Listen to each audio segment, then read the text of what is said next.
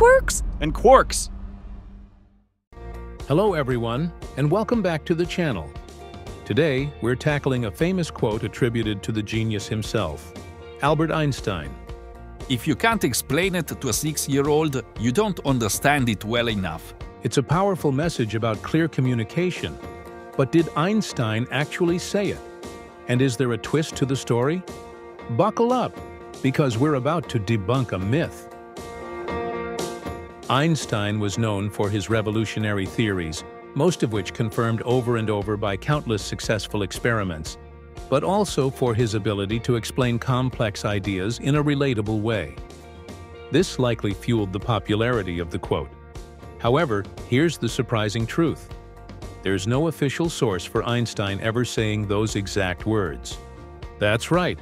Researchers haven't found any writings or documented speeches by Einstein containing that specific quote.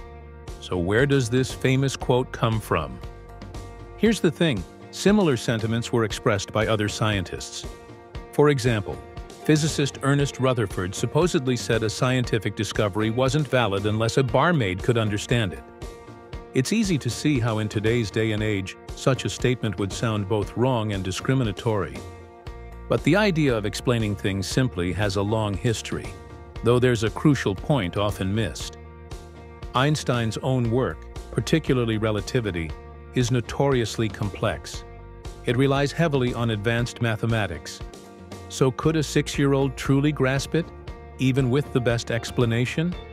Probably not. In 1932, physicist Louis de Broglie recounted a conversation with Einstein about quantum mechanics.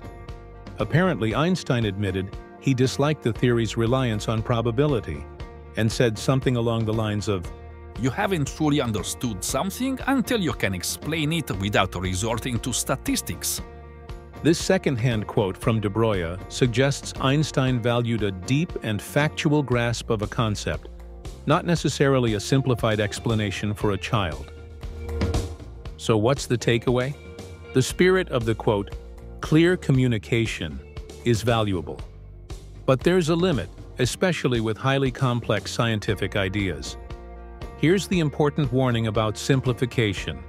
Oversimplification can be a dangerous game.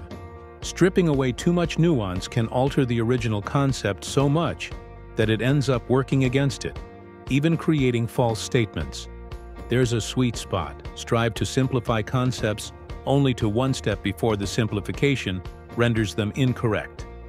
This allows you to explain complex ideas in a way that's engaging, while avoiding dangerous misinformation. Science communicators today are masters at this. They use analogies, visualizations, and age-appropriate language to spark curiosity, not dumb things down. Just a couple of examples of great scientific communication.